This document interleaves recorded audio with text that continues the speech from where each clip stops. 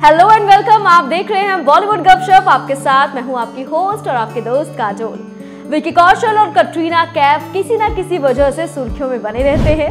फ़िलहाल इस star couple का एक वीडियो सोशल मीडिया पर काफ़ी वायरल हो रहा है।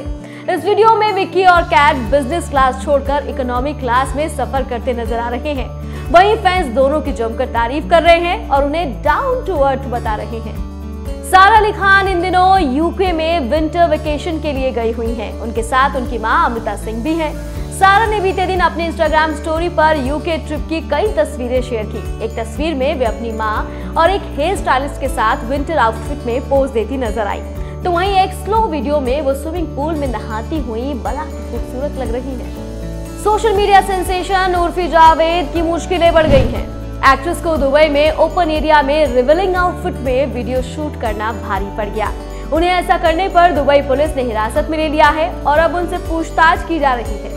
अर्जुन कपूर की मोस्ट अवेटेड फ़िल्म, कुत्ते का ट्रेलर रिलीज़ हो गया है, जिसे फैंस काफ़ी पसंद कर रहे हैं। वहीं अर्जुन की छोटी बहन और मिली एक्ट्रेस जाह्नवी कपूर ने कुत्ते के ट्रेलर पर अपनी रिएक्शन दिया है। जानवी ने अपनी इंस्टा स्टोरी पर ट्रेलर शेयर करते हुए लिखा, ये कितना बीमार सा लग रहा है। मैं बहुत एक्साइटेड हूँ और मैं इंतज़ार नहीं कर सकती। लुक सिक उन्होंने कुत्ते के पोस्टर को भी शेयर किया और लिखा, ये ट्रेलर जंगली लग रहा है सॉलिड स्टफ़ वहीं अर्जुन ने जानवी की इंस्टाग्राम स्टोरी पर रिएक्शन देते हुए लिखा, इसे जल्द से जल्द आपको दिखा रहा हूँ. साउथ से लेकर बॉलीवुड की कई फ़िल्मों में काम कर चुकी खूबसूरत एक्ट्रेस तमन्ना भाटिया आज अपना तैतीसवा जन्मदिन मना रही हैं। उनका जन्म एक दिसंबर उन्नीस सौ नवासी को मुंबई में हुआ था।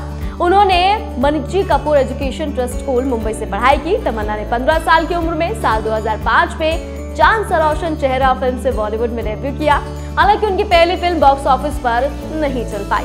इसी साल उन्होंने श्री के साथ अपनी तेलुगु फ़िल्म की शुरुआत की। उन्होंने 2006 में फ़िल्म कैंडी के साथ तमिल फ़िल्म की शुरुआत की। तमन्ना को तेलुगु फ़िल्म हैप्पी डेज़ और 2007 में रिलीज़ हुई। तमिल फ़िल्म कल्लौरी से इंडस्ट्री में पहचान मिली। साल 2015 में आई फ़िल्म बाहुबली, द बिगनिंग, और 2017 में आई फ़िल्म द बाहुबली कंक्लूजन ने एक्ट्रेस को बुलंदियों पर पहुँचा दिया तमन्ना भाटिया, हिम्मत वाला, हम शक्ल और एंटरटेनमेंट जैसी बॉलीवुड फ़िल्मों में नज़र आ चुकी हैं। तो ऐसी चटपटी और मसालेदार खबरों के लिए आप देखते रहिए बॉलीवुड कपशाप